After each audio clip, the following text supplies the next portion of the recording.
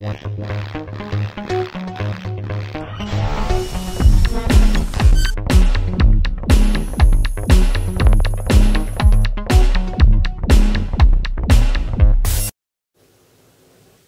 this is James from CrackBerry.com. We're just going to take a very quick look at how to uh, back up and then uh, also restore your uh, BBM contacts on your device, which is actually very simple to do, but uh, from what I see, not many people do it.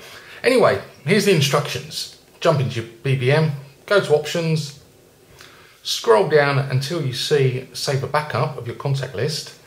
You've then got a couple of options here. You can uh, back up locally what this will allow you to do is either back up to the media card or to your device. I suggest using your media card and I'll explain why later. Press save and uh, it will do a backup. I've already done one today, so that's why it's saying overwrite.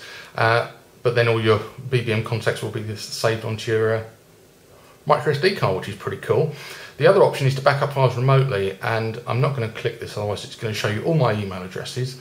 Um, but what it will allow you to do is enter an email address, and again, all the contacts will then be backed up to that email address. I'll explain in the text how you utilise that anyway. Uh, and then obviously it comes to restoring, and you do this obviously if you had a, uh, a, a, new BlackBerry. But what it would allow you to do is then either restore using the um, the email address that you backed up to, or uh, using the device or, or the media card. Uh, all fairly straightforward, and if you carry on reading the text, I will explain in uh, in, in, more detail detail how, how, how to do it and what the benefits to doing it.